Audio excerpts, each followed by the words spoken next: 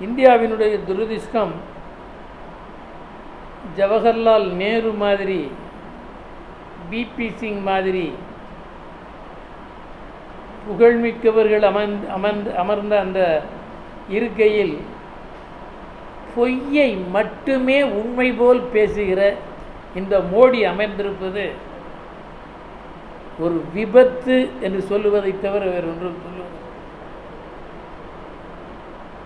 உண்மையையே பேசுவதே இல்லை.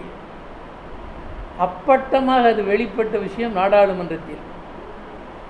இவர் முதல் நாள் தொடங்குகிறது. மறைந்த உறுப்பினர்களுக்கு அஞ்சலி முடிந்து எதிர்க்கட்சிகள் பெக்காசஸ் விவகாரத்தை வேவு பார்த்த விவகாரத்தை கிளப்பியவுடன் மோடி என்ன சொல்லுகிறார்? எங்கு நாங்கள்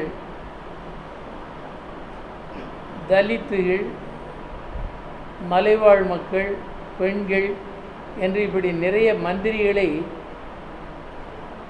போட்டுள்ளதால் வெறுப்படைந்து எதிர்க்கட்சிகள் தகராறு செய்கிறார்கள் கலகம் செய்கிறார்கள் என்று ஒரு அப்பட்டமான பொய்யை கொஞ்சம் கூட வெட்கப்படாமல் நாடாளுமன்றத்திலேயே பதிவு செய்த முதல் தர பொய்யர் இந்த மோடி தான்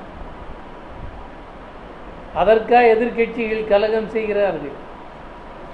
பிரச்சனை விவாதிக்க வேண்டும் என்று நாடாளுமன்ற முறைப்படி கோருவதே இவர்களால் ஜீரணிக்க முடியவில்லை. எனவே இந்த நிலைமை இந்த நெருக்கடிக்கு காரணம் ஆளுங்கட்சியினுடைய தங்கள் தவறை மூடி மறைத்து கொள்வதற்காக முரட்டு பிடிவாதத்தில் இருக்கிறார்கள். தங்கள் நடவடிக்கைகளை மூடி மறைத்து பொய்யை அவிழ்த்து கொட்டுகிறார்கள். எனவே இவர்கள்தான் குற்றம் புரிந்தவர்கள். இவர்கள்தான் இந்த நாடாளுமன்ற ஜனநாயக மரபை கெடுத்திருக்கிறார்கள் என்பதை நம்மால் நடைமுறையில் உணர முடிகிறது. அதே மாதிரி இன்றைய பார்த்தால் உச்ச நீதிமன்றம் அதனுடைய தலைமை நீதிபதி ஓப்பன் கோர்ட்டில் சொல்லியிருக்கார். தங்களுக்கு கடினமான தீர்ப்பு தங்களுக்கு சாதகமான தீர்ப்பு கிடைக்கவில்லை எனில் செல்வாக்குள்ள நபர்கள் நீதிபதிகளை இழிவாக பேசுகின்றனர். இது துரதிர்ஷ்டவசமானது.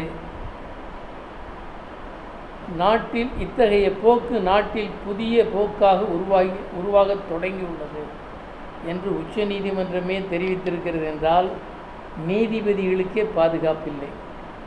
ஜார்க்கண்டில் பார்த்தோம் மிக எளிதாக ஆட்டோ ரிக்ஷாவை விட்டு ஒரு தலைமை நீ ஒரு மாவட்ட தலைமை நீதிபதி கொல்லப்பட்டு விட்டார். நாடு பூரா இந்த ஆபத்து எல்லா இடங்களிலும் நீடிக்கிறது. எனவே இந்த மோடி அரசு ஜனநாயக ரீதியான நடவடிக்கைகளை முடக்குகிறது என்பதற்கு